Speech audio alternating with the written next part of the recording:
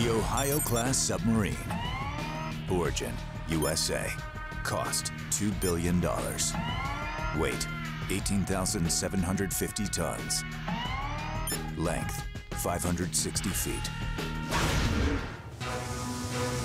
The Ohio-class sub carries within its hull enough firepower to alter the course of history.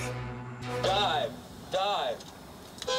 That deterrent capability is one of the most successful uses of fear in military history to date. A single Ohio-class boat has more combat power than all of the aircraft in World War II by a factor of times almost an indescribable number. Torpedo evasion. Come on, Jai! Sight dry! One of those submarines with its ICBMs and its Trident missiles and its independently targeted reentry vehicles, just breathtaking uh, power and capability. Scary. Each of the U.S. Navy's 14 Ohio-class subs is armed with 24 Trident II D5 ballistic missiles. Costing $29 million apiece, they carry 12 warheads and have a range of 4,600 miles. Traveling at 20,000 feet per second, it would take a matter of minutes to reach its target.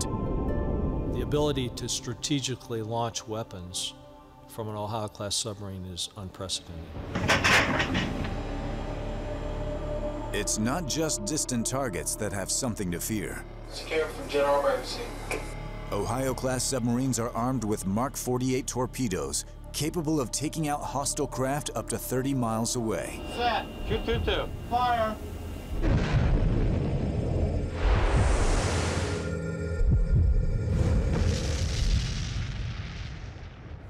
An Ohio-class boomer is nearly the length of two football fields and as high as a four-story building.